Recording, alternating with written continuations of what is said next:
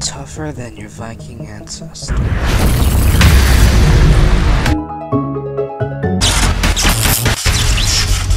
Wow, this is bright.